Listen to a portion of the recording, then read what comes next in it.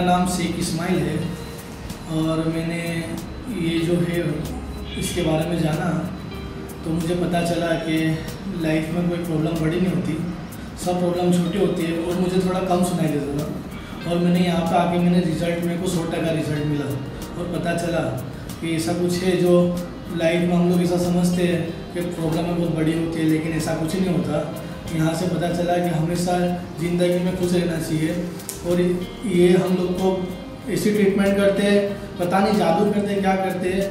तो हम लोग एकदम पूरी कान में ऐसा लगता है कि कुछ हाँ कुछ नया हो रहा है।